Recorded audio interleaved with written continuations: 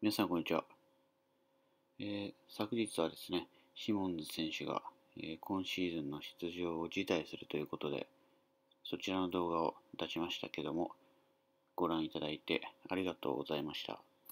本日はですね、まあちょっとね、気が早いんですけども、2021年、エンゼルスのチーム編成について、まあ FA 選手を見ていったり、まあそのね、シモンズ選手もどうするのかっていうのもありますし、まあ、その辺を勝手にね、お話しして、で、2021年の FA 選手の中から、まあ、誰が欲しいとかっていうのをね、勝手にやっていこうと思います。はい、まずですね、先発ピッチャーですけども、えー、今年エンゼルスが一番お金を使った選手が、えー、テヘランさん。この価格ですね。なんでまあ、上限がこれぐらいってなると、やっぱり S 級は取ってこれないんですよね。まあ現実的じゃないですけどね、マー君とか、いいと思うんですけど。あと、えー、まあね、やっぱバウアーさんが目玉かなって感じですよね。今年、あ、来年か。FA はね。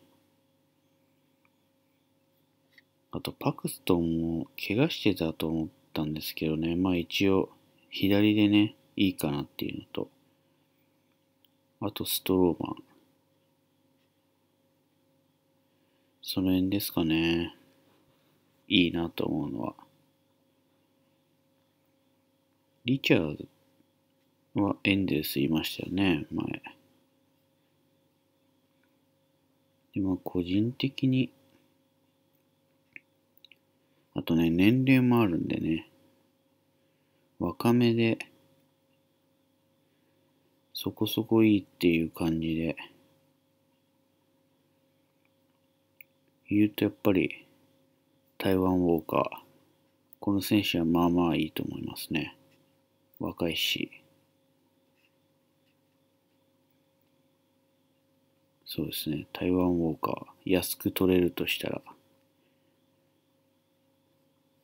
で、お金使うならもう、バウアー。バウアー、パクストン、マー君。かな。っていう感じで、今、えっと、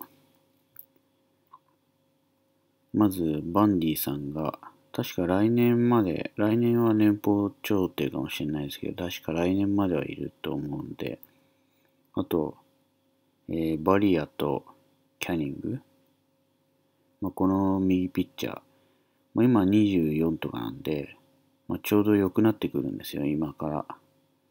でまだこれからだと思うので、この二人はまあ、ね、頑張るでしょう。で、まあそこにあと大谷さんが来年また投げられればいいですし、すると右が多めなんですよね。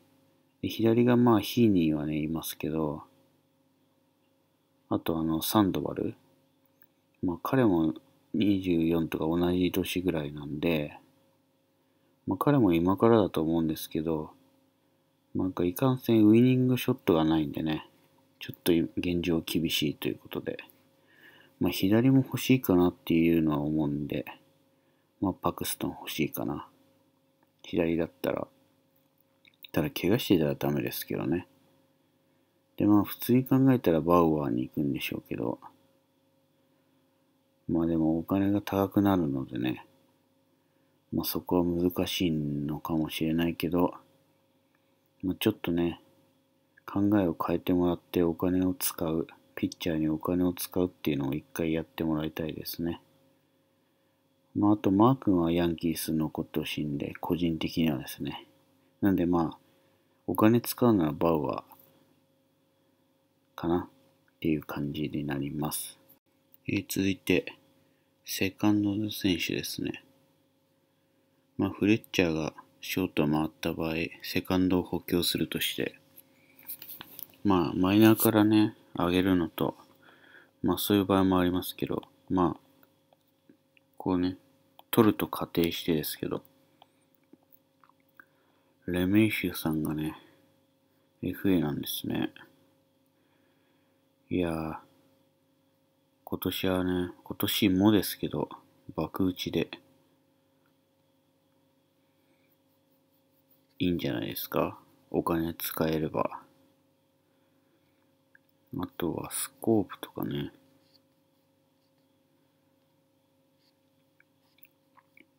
プロファーもいいかな。で、まあ、ラステラさんを連れ戻すっていう手もありますからね。それもいいんじゃないですか。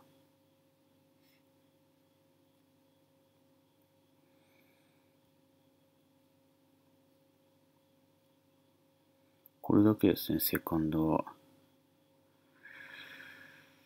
うん。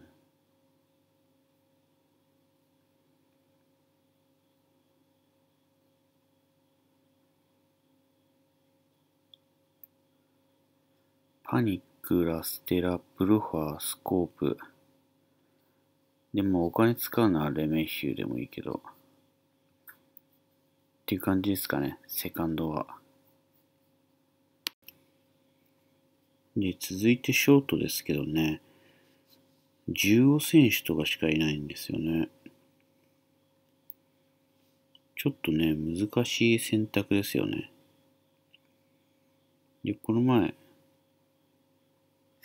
あの、シモンズさんと3選手この紹介したのがまあトップ3なんですよね。このお値段から見てもわかると思うんですけど、まあ大体ショートを欲しがってる選手、ライキーはこの3人からって感じになると思うんですけど、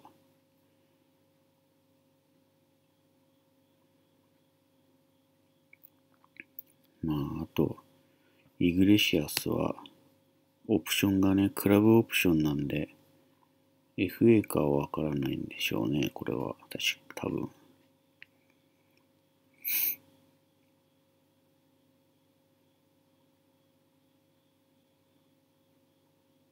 まあ、やっぱりこの3選手からですね、ショート取るなら、どう考えても、って感じになっちゃいますね。この前出した動画と同じ感じになってしまいましたけど、もうショートを取るならこの3選手のどどれかですね。そしてまあ最後になりますけども、簡単なデータにはなってしまいますけど、えー、今のね、チーム打率とか、チームの成績ですけど、まあ、チーム打率は30球団で14位なんで真ん中らへん。で、ホームラン数と得点に関しては8位と7位で、まあまあ上位にいるわけですね。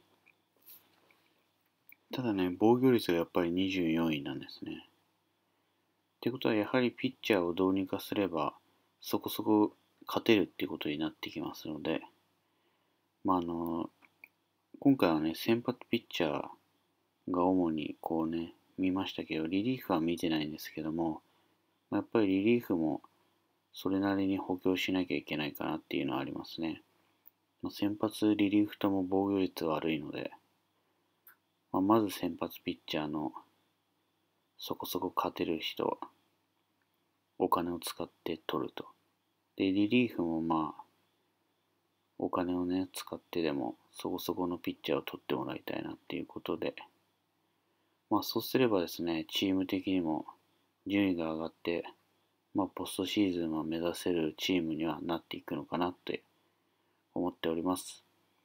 では本日は勝手に GM の気分になって来季のチームを編成を考えてみたという動画でした。ではご視聴いただきありがとうございました。